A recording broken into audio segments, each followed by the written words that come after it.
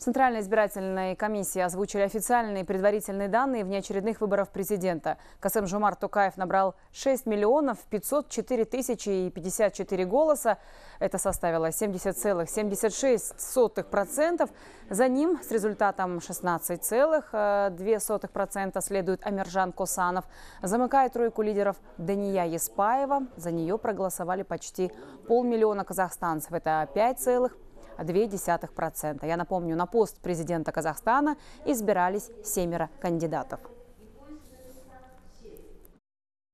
Всего по Республике Казахстан Ахмедбеков Жамбыл Аужанович 167 249 голосов или 1,82% голосов избирателей.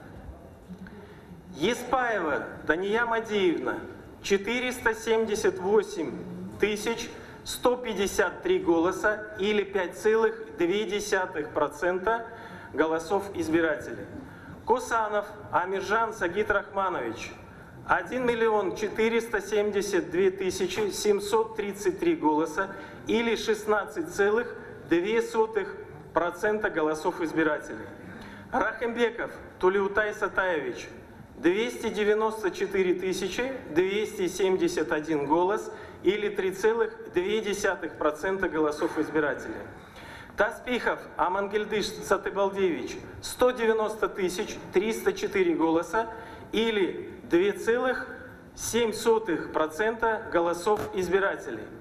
Токаев Касым Жумарт Кемелевич 6 миллионов 504 тысячи 54 голоса или 70 тысяч 76 сотых 70,76 сотых процента голосов избирателей.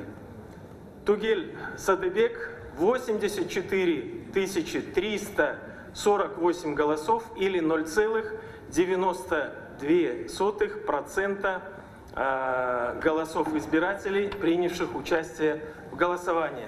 Таковы предварительные результаты. По информации ЦИК, в списке избирателей были включены почти 12 миллионов человек, а в голосовании приняли участие более 9 миллионов, ну или 77,4% казахстанцев.